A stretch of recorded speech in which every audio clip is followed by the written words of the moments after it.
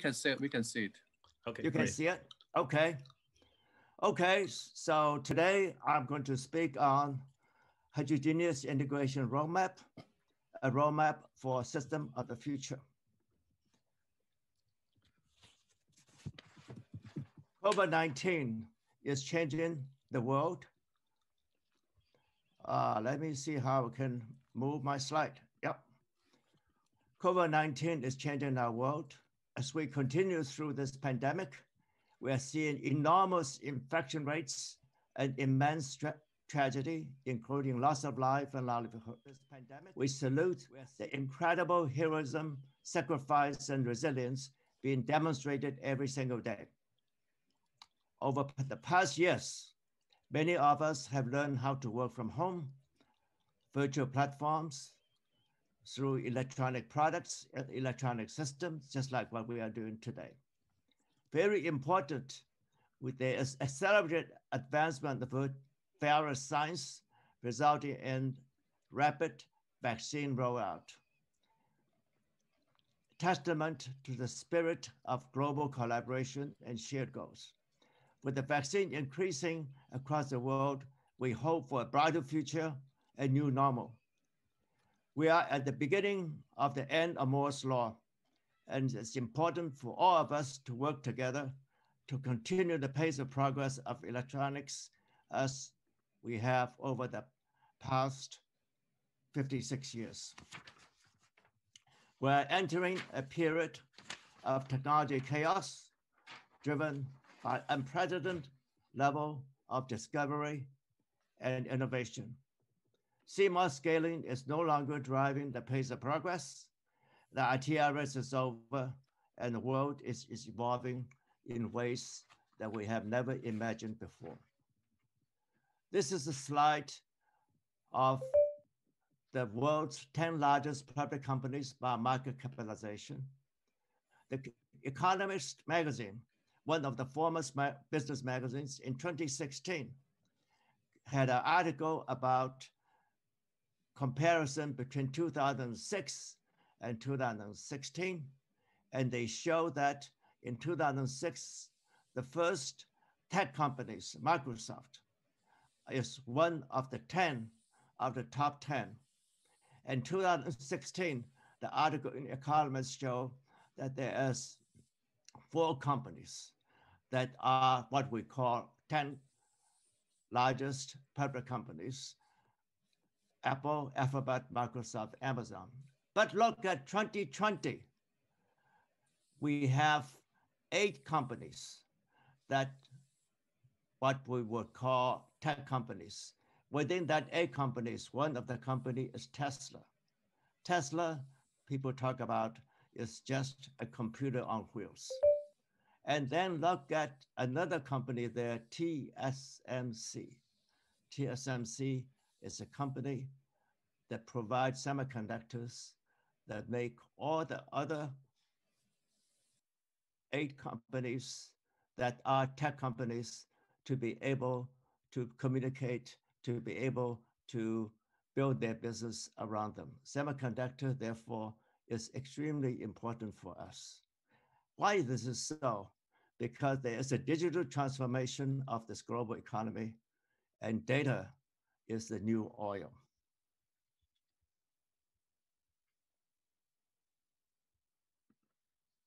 So this slide, what we show is a slide from John Hennessy. John Hennessy is the chairman of Alphabet. And in this slide, he presented at the DARPA ERR conference on July 23, 2018. In this slide, what he showed is that between 1986 to 2003, the progress in processor performance is increasing at 52 percent, 52% a year, 52% a year. Between 2006 and 2015, the increase is at 23 and then 12 percent. And then after 2015, it is almost flat. That is to say that the process in processor performance has slowed significantly to almost flat. The next slide is come from a presentation by AMD CEO Lisa Su. She gave the talk at the DARPA ERR conference on July 15, 2019. And in that slide, she showed that the cost that, that she showed that Moore's law economics is meeting severe headwind. What she's shown is that costs continue to increase in terms of cost per yielded die for the 250 millimeter square. So increasing die size, therefore, is economically problematic. Moore's law economics is really having difficulties moving forward. The third slide I want to show is from John Shalf. John is from the Lawrence Berkeley National Lab, and he gave a talk called Computing Beyond Moore's Law at the International Supercomputer Conference on June 18, 2019. What she is showing is what the two uh, people have shown previously, that they show that although the transistor count continued to increase, the performance as measured by thread performance, clock frequency, power, and core are all flattening out. And she asked the question, as that scale in 2021, and then what? So obviously what we are looking at is how do we find a way out? How do we find a way to go forward? So let's go back to 1991 the technology roadmap, technology roadmap, what we call ITRS. In 1991, the world's first open source technology roadmap, the National Technology Roadmap for Semiconductors, NTRS, was sponsored by the United States US Semiconductor Industry Association. But by 1998, NTRS expanded. Europe, Japan, Korea, Taiwan joined US Semiconductor um, Association. So the, the, the roadmap then is formed, sponsored by five countries Semiconductor Association. It is called International Technology Roadmap for Semiconductors. In 2014, the benefit of Moore's law scaling diminished and decision was made by SIA together with the other partners to end ITRS. The last edition of ITRS was published on July the 8th, 2016. In March 2015, the ITRS's heterogeneous integration focus team signed an MOU with the IEEE CPMT Society to initiate the formation of the heterogeneous integration roadmap. And this roadmap was formed with initiative from three IEEE societies, Electronics Packaging Society, Electronic Devices Society, Photonics Society, together with SEMI and ASME Electronics and Photonics Packaging Division. The purpose is to maintain the pace of progress needed for electronic system today and tomorrow by integration of separated manufactured component into a high-level assembly that provides enhanced functionality and improved operational characteristics. It is dedicated to enhance, to embrace innovation wherever it arises and promote collaboration wherever possible to accelerate progress in this microelectronics landscape. Now, how is heterogeneous integration defined? As you can see in this picture here, is that you have die from one fab, die from another fab, maybe a different node, maybe some passives, some meth, MEMS, etc. All put together into a single SIP. So it is heterogeneous integration by materials, component types, circuit types, nodes, and bonding and interconnection method, and very importantly, from different sources. So,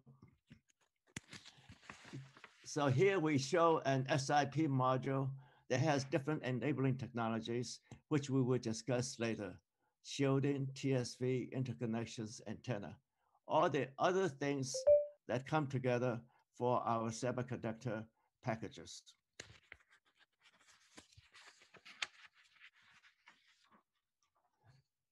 Our, our business is driven by markets. So market applications in this digital transformation is very important. So we identify six markets that are the leading important markets.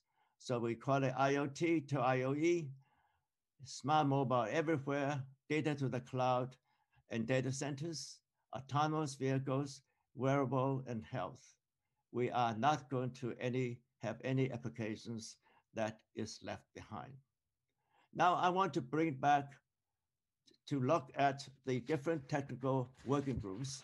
And so we have the market applications, which is high performance computing, mobile, medical and health and wearables, automotive, IoT, and aerospace defense, the six ones we talked about.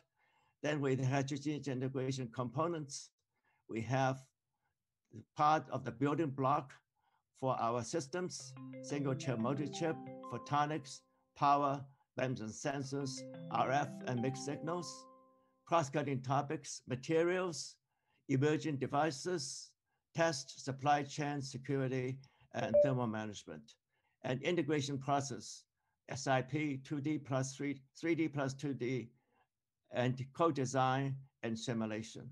These are the basic building block for us for the, for the roadmap, and each of those have a technical working group responsible for the chapter in the roadmap. The roadmap committee, I'm the chair, and uh, Bill, Dr. Bill Bottoms, chairman of CMTS, is co-chair representing EPS. Professor Subu Iyer, representing EDS. Professor Ahmed Helmi, chair professor at at University of Toronto, representing photonics. And SEMI is represented by Tom Salmon. And uh, ASME EPPD is represented by Ravi Mahajan, Intel Fellow. And ASME EPPD alternative, we have Gamel Rafael Ahmed, Distinguished Engineer at Xilinx. We have a Global Advisory Council, Ajit Manocha, president and CEO of SEMI. Previously, he was chairman of chairman and the CEO of Global Foundries. And then we had Nicky Lu, founder and chairman of Etron Technology in Taiwan. Um, Babak Sabi, Intel Corporation Vice President, General Manager for Assembly Test Technology Development, and Professor Hubert Lakner, the Board of Directors Chairman for Fraunhofer Microelectronics Group and founding director of Fraunhofer Institute of Photonics in Dresden, Germany. So we have a global advisory council in Europe, Asia, and US. Now, the first edition of that roadmap was released in October 10th, 2019. Let me read off to you let me read off to you the uh, a part of the uh, re press release. It's a heterogeneous integration roadmap. It's a roadmap for the future of electronics, identifying technology requirements and potential solutions. The primary objective is to stimulate pre-competitive research and collaboration across industry, academia, and government to accelerate progress the roadmap offers professional industry, academia, and research in a comprehensive strategic forecast and technology over the next 15 years.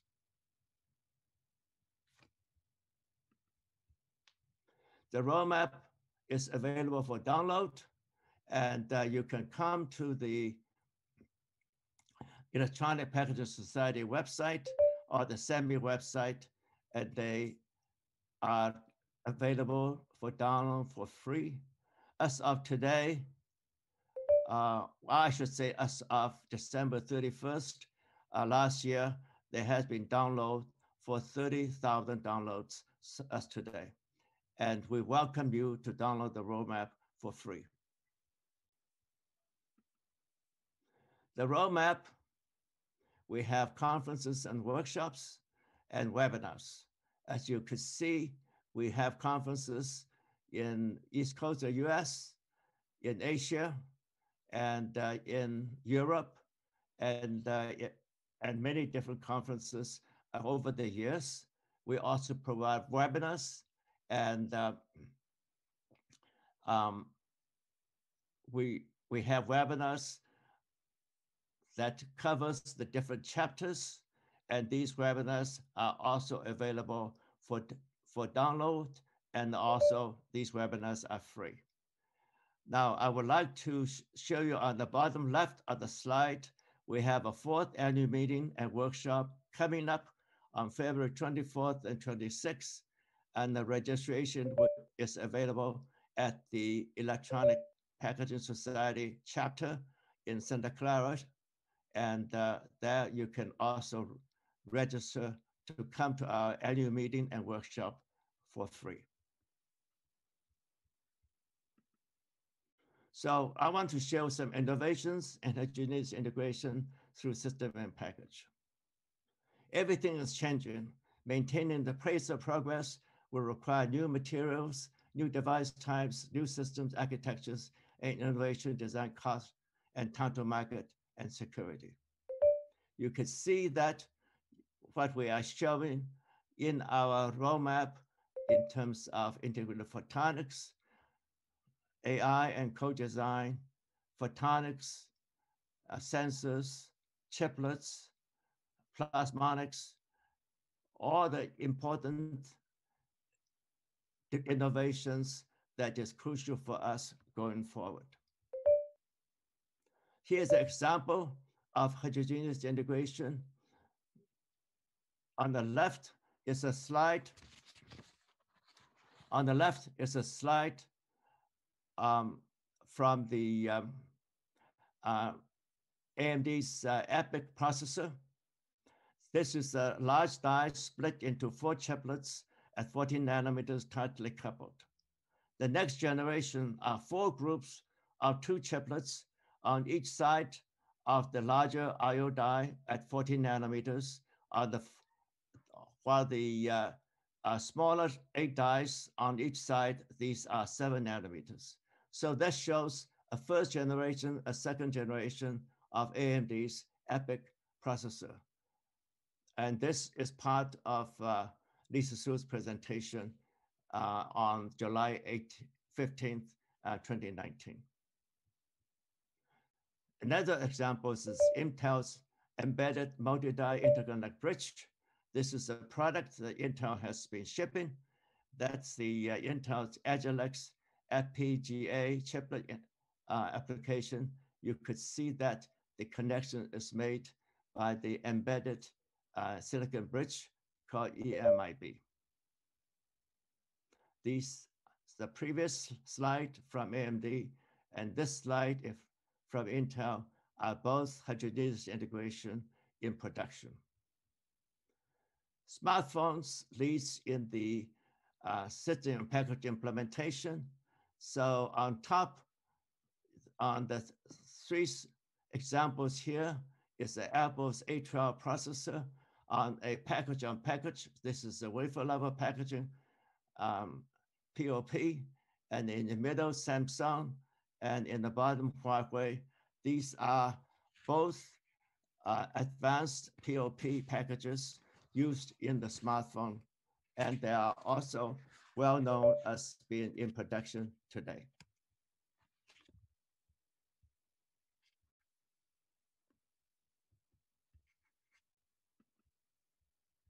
So this is uh, the next is the DARPA chip chips program.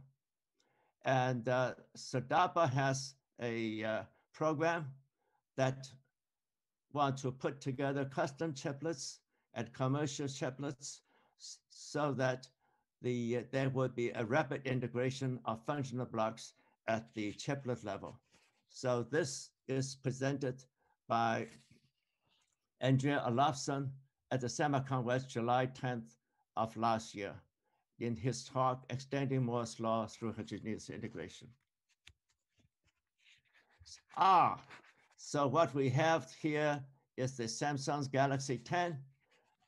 What you see is the uh, uh, teardown of the module, and you see the 5G modules.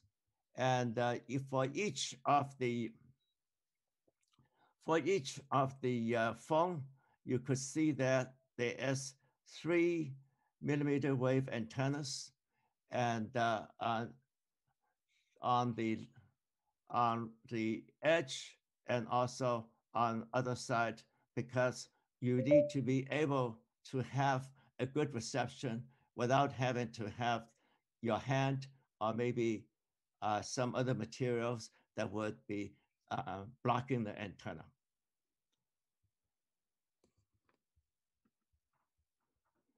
So this is a fan-out uh, multi-stack integration that is from TSMC at the ECTC, at the, showing at the ECTC conference 2019. That is a fan-out multi-stack integration. Another very good example of memory and SoC um, integrated together. This is a fan-out chip on substrate for the multi-chip integration. This is the hybrid module of 16 nanometers, 28 nanometers, using high density RDL to uh, link them together. These are RDL three layers at uh, uh, line of space 2.2. Another example, 2.5D with silicon interposers integrating high band, high bandwidth memory together with processor. And uh, this would be comparing how do we have from the traditional flip chip to the uh, from traditional flip chip to the uh, uh, TSV.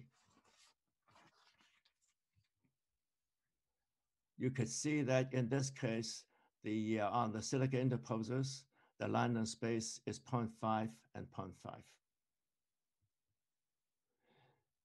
Emerging medical devices technology at this time of uh, the pandemic, we are very much aware of how semiconductors might be important for us on the wearable device technology. And one of our uh, technical working group, one of our chapters is medical health and wearables. It showed different ways that the electronic packaging capabilities are being implemented in the medical uh, devices that would help us in health and help to keep us safe. Silicon photonics, a co-package integration. This is the slide from, um, from John Shalf in his presentation. And uh, what he showed is a schematic of how he sees the future of co-package could work in terms of uh, integration. So this is a silicon photonics integration co uh, concept. And I think it is the same type of, of uh, um, ideas that are going to be implemented into, into the future. This is in chapter nine of our roadmap, integrated photonics.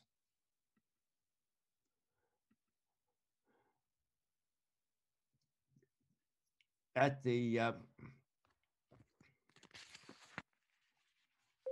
at the uh, uh, presentation on the uh, um, 2019 uh, Semicon West, the uh, Cliff Young at Google presented three generations of the Google's tensor processor unit.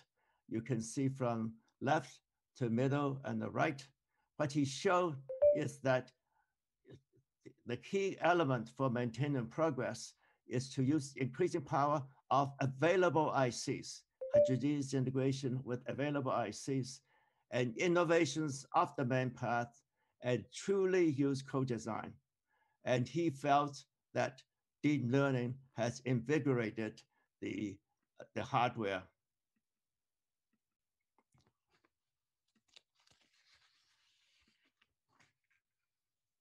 Now, how, what do we envision to be the future? At the SIA, SIA SRC report on March 30th, 2017, he said that the path forward is not as clear as was during the Moore's Law era. However, the enormous potential for economic and societal benefit, some that are envisioned and some that are not yet ima imagined. How do we reap the benefit of what SIA and SRC talk about, the economic and societal benefit? Alan Kay, computer scientist, what he said was the best way to predict the future is to prevent it, is to invent it. And Philip Wong at the ERR Summit plenary last year, he, what he said is the future is system integration. Heterogeneous integration plays right into what all these three people have said. The heterogeneous integration roadmap is maintain the pace of progress needed for a complex electronic system today and today and tomorrow by heterogeneous integration through SIP. The goal is to promote innovation and collaboration to accelerate the progress in the microelectronics landscape.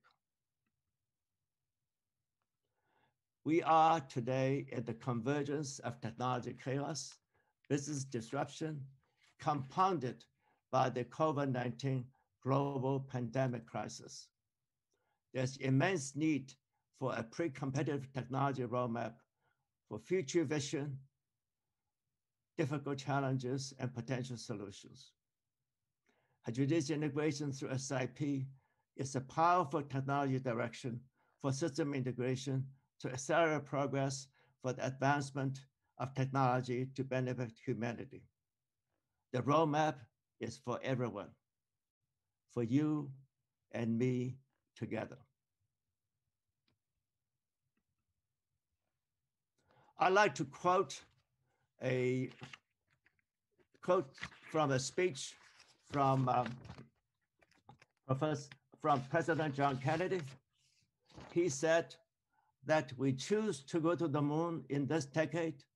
I'm sorry, let's just get back. Professor John Kennedy on September 12, 1962 at Rice University. He was talking about the moonshot in, at the in 1962. He said, we choose to go to the moon in this decade and do other things, not because they are easy, but because they are hard. Because that goal will serve to organize and measure the best of our energies and skills, because that challenge is one they are willing to accept, one we are unwilling to postpone, and one which we intend to win, and that others too. I think in that spirit is the spirit of heterogeneous integration roadmap. It is a collaboration of many people, many volunteers working together, many volunteers in the technical working group, and we work together so that we so that we could do it for the benefit of our profession, benefit of our industry, and benefit for society.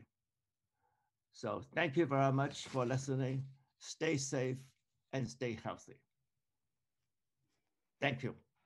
Thank you, Bill. Thank you for the wonderful speech. And uh, we have uh, uh, collected some questions from our audiences. So here is, uh, um, yeah, we, can, we have a five minute uh, Q&A session uh, for, for Bill. So the first question we have is, what are the major technical uh, challenges for heterogeneous integration? Well, we have actually quite a different challenges on either on the personal level or on the um, people level. The most important challenge would be on how do we make the heterogeneous integration roadmap truly valuable for our community, for our profession, for today and, and the future. We see that also is a criminalization tool, educational tool, so that we have a very complex ecosystem in our industry, in our supply chain. So the roadmap is important for us to bring the supply chain together on this common goal. The second is that how do we increase the depth of our working group working together so that we can have a best overlap between chapters for the reader to read. And personally, I see AI and uh, data analytics is here and now. And many of us, myself included, need to educate ourselves because we believe AI and machine learning will be important for our roadmap. So three different, uh, different areas that we think are major challenges for us. Thank you. Thank you, Bill. Uh, you talked about a lot um, uh, in your talk, uh, in your speech on uh, chiplets, right? So the chiplet integration is uh, uh, is the technology trend uh, in packaging in semiconductor. So from your point of view, um, for Intel, AMD, Xilinx, their technology, what do you say about their you know advantages and shortcomings? actually for myself, I worked as uh, I worked as a um, uh, member of the R and D team, uh, actually in the in Intel's um, uh, uh, chipset. Uh, I was one of them. So I I like to know what do you think about the you know advantages and pros and cons of the Intel, AMD, and Xilinx chiplet products. Ah, that you put me right at the spot. yes, I think uh, uh, we have, we had in the uh, 2019, no, last year where we had our, where we have our um, meeting, we, um, I mean, annual meeting, we have uh, Intel to come and talk about chiplets. And we also have uh, Babak Sabi to from ODSA to talk about chiplet. And, uh, and in February this year, we have AMD to come on the chiplets. My own belief is that in Intel, in AMD today, the chiplets that each of you are working on are working on the applications that you have, on the interconnection method that you have. And uh, how do you do this? For example, uh, in terms of other applications that are difficult to say. I think chiplets is at a very early stage. And how do you implement it on uh, laminate? How do you implement it on different platforms? They are all very specifically optimized for these different applications. So coming to our chiplet discussion on February 25th at 11 o'clock. And uh, we will have a Zoom platform and we'll discuss it together. Okay. Uh, thank you. So uh, uh, my question, there's another question uh, about the wafer fan out. Because uh, for the SiP, there is a fan out limitation today. And so what are the improvement status? I'm not sure this if this is directly, uh, you know, um, uh, you know, related to your topic. Oh, it is. It is related because we have a cool. chapter. Oh. We have a chapter called wafer level packaging, and uh, we have a chapter wafer level packaging, which also includes the panel level packaging. In the and also, we have that chapter include fan in as well as fan out. So your question of what are the limitations or your, the equipment limitations, is that what you're trying to say? Uh, yes, yes. The fan out limitations and what is the improvement status?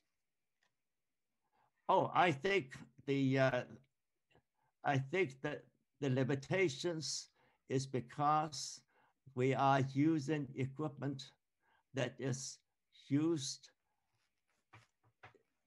not exactly uh, how shall I say it, not exactly designed for this specific wafer level fan out.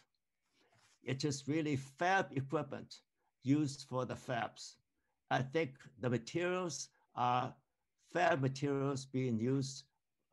I think the equipment, um, how should I say it? The equipment companies and materials companies will continue to develop um, equipment specifically for fan out. I think the idea of people that has say that they want to use panel level, the idea that people were talking about they want to develop fan out in different directions. Think about this fan out. When did we start to talk about fan outs? It's only about four years ago, five years ago. And so I think we as an industry need to think about a long term where the materials and the equipment all come together in, in doing the job that it would do. I think I could see equipment people already are being coming together and particularly, well, I do not want to name names at the point. But I would say that a very important purpose of the roadmap is to be able to say that this is the direction we are going. How do we develop the materials? How do we develop the equipment? And how do we make it so that it's most cost effective? And that design have to come in, reliability have to come in, quality have to come in.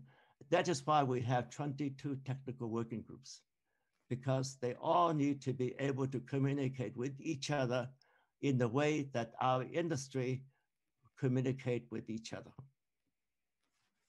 Okay, thank you. I so, have I have great hope, optimistic that we are going there. Great, thank you. Yeah, so that's I guess that's what the uh, the person who is asking uh, this question is uh, looking for. Uh, so the last question uh, for the Q&A here is besides the IC integration, what is the new demands for passive components in uh, heterogeneous integrations? You are speaking about something that uh, um, I feel passives is a long neglected areas for research. Mm -hmm. And uh, uh, I, for one, have been have been very much uh,